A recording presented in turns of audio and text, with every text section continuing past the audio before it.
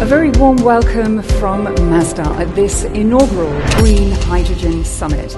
We will continue to invest in the clean energies of tomorrow as we drive down the carbon footprint of the energy the world needs today.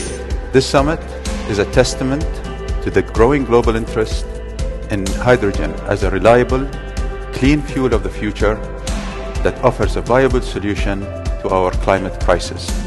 We are here to prove that green hydrogen will work. Green hydrogen is the new reality of life. You will be hearing a lot about green hydrogen and you will be hearing a lot about Abu Dhabi and the UAE in that spectrum.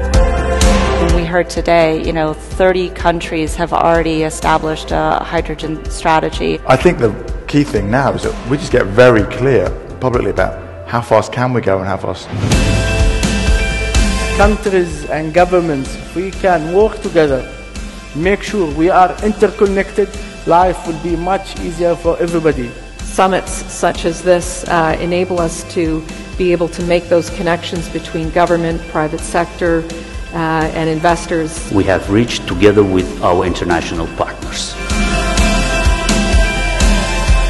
Thanks to Emirates, it's a very good opportunity to develop this relationship. We believe the hydrogen market will go from local to regional to global. We designed the energy, the hydrogen strategy of the UAE to be catering for all of those international challenges as well. Frankly, makes it easier for us to adopt when the entire industry is joining hands. Our low carbon hydrogen, which is in the final stages of approval, is not a reality yet, but we're almost there. The question is, you know, how are we going to have the global south leverage all of what was said here today?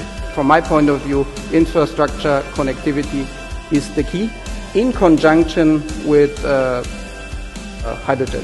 We need to use innovation in order to utilize assets that otherwise will be stranded. We in the Hydrogen Council are delighted to be supporting this inaugural Hydrogen Summit here at the Abu Dhabi Sustainability Week.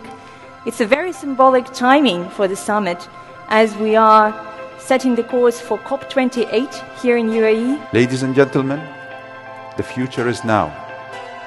It is ours to harness and build, and green hydrogen is leading the way. Thank you.